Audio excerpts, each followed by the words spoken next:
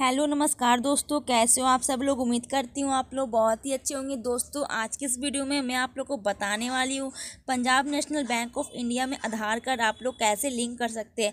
जी हाँ दोस्तों, अब आप लोग घर बैठे ऑनलाइन अपने मोबाइल या लैपटॉप के माध्यम से मात्र दो मिनट के अंदर में आप लोग आधार कार्ड को पंजाब नेशनल बैंक में लिंक कर सकते हैं। तो कैसे करना है क्या क्या स्टेप है, सब कुछ मैं आप लोग को इस वीडियो में बताने वाली हूँ। तो प्लीज़ मेरे वीडियो को लास्ट तक ज़रूर देखिएगा।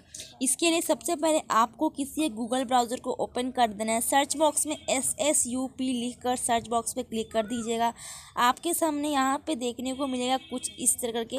दोस्तों, फ़र्स्ट वाले लिंक पर क्लिक कर दीजिएगा। जैसे आप फ़र्स्ट वाले लिंक पे क्लिक कर देते हैं। आपके सामने वेलकम टू माय आधार का ऑफिशियल पोर्टल यहाँ पे खुल जाएगा, ठीक है? यहाँ पे आप देख सकते हैं।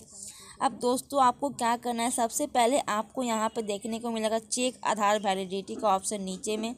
सबसे पहले दोस्तों, आप लोग को ये चेक कर लेना है कि आपके आधार कार्ड में कौन सा मोबाइल नंबर है, क्योंकि ये जानना बहुत ही ज़रूरी है, ठीक है? तो सबसे पहले आप लोग को चेक कर लेना है। यहाँ पे चेक आधार वैलिडिटी का ऑप्शन दिखा है। इसके ऊपर आप लोग क्लिक कर देना है। यहाँ पे क्लिक करते ही दोस्तों आपको यहाँ पे आधार नंबर ये कैप्चर कोड को नीचे वाले बॉक्स में लिख देना और प्रोसेस के बटन पे क्लिक कर देना है। अब दोस्तों इसके ऊपर क्लिक करने के बाद यहाँ पे हमें पता चल गया कि हमारे आधार कार्ड से कौन सा मोबाइल नंबर रजिस्टर है, ठीक है? यानी लिंक है। तो सबसे पहले ये मुझे पता चल गया, अब दोस्तों यहाँ से हमें बैक हो जाना है। बैक होकर फिर से गूगल ब्राउज़र को ओपन करना है। सर्च बॉक्स में आप लोग को लिखना पड़ेगा दोस्तों। आधार सीडिंग और उसके बाद पंजाब नेशनल बैंक यहाँ पे लिख देना है, ठीक है? जैसे आप लोग इसको लिख देते हैं, लिखने के बाद आपके सामने यहाँ पे सेकंड वाला लिंक आपको देखने को मिलेगा। सेकंड वाले लिंक पे क्लिक कर देना है। जैसे दोस्तों हम इसकी लिंक के ऊपर क्लिक कर देते हैं, हमारे सामने यहाँ पे आधार लिंक करने का यहाँ पे पेज ओपन हो जाती है, ठीक है? यहाँ पे देख सकते हैं मैं इसको जूम करके दिखा देती हूँ। दोस्तों यहाँ पे आपको कुल तीन स्टेप में पूरा कंप्लीट करना है, आधार कार्ड लिंक करना है, ठीक है? तो पहला स्टेप में आपको ये ऊपर वाला जो स्टेप देखने को मिल रहा है, यहाँ पे अकाउंट नंबर, कैप्चर कोड लिखना है तो ये दोस्तों पहला स्टेप है। आइए जानते हैं पहला स्टेप में आपको क्या क्या लिखना है।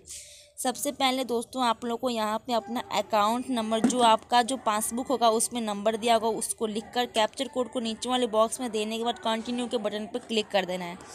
दोस्तों सेकेंड स्टेप में आपको देखने को मिलेगा, यहाँ आपका जो मोबाइल नंबर रजिस्टर होगा, उस नंबर पे ओटीपी आएगा। ओटीपी देने के बाद दोस्तों, आप लोग को सिंपली वैलिडेट के बटन पे क्लिक कर देना है, ठीक है?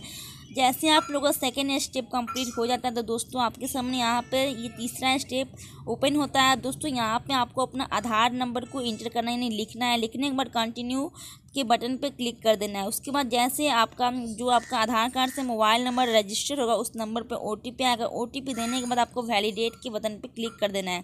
अब जैसे आप लोग इसको क्लिक कर देते हैं, दोस्तों, अब आपको कुछ दिन वेट करना है। अब आपका Punjab National Bank of India में आपका आधार कार्ड लिंक हो जाएगा, ठीक है? उम्मीद करती हूँ आपको ये वीडियो अच्छा लगा हो तो प्लीज़ एक लाइक, सब्सक्राइब ज़रूर कर दीजिएगा।